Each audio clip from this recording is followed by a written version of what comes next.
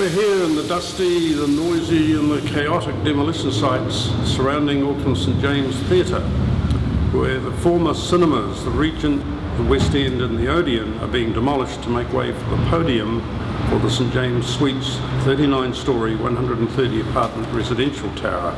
We have, a little bit inconveniently, a massive artwork sitting right in the area being demolished. This is a ceramic tile mural by expat New Zealand architect Maurice Keith Smith, now a uh, emeritus professor at MIT and Harvard.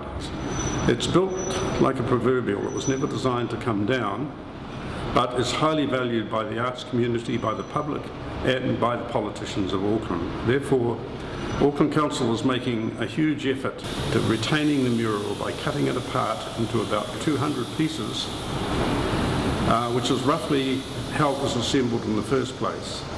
But this particular mural, done in ceramics, in glass tiles, in glazed tiles and porcelain tiles, is a massive modernist rectilinear brightly coloured abstract tile mural. It's about 4.7 metres wide, 4 metres high and weighs something in the order of 20 metric tons, 20,000 kgs.